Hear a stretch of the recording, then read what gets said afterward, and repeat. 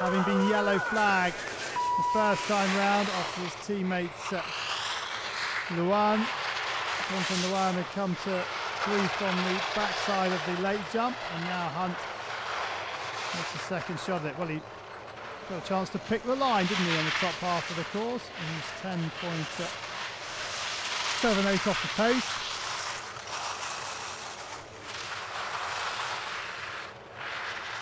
And Hunt sets up for the final pitch.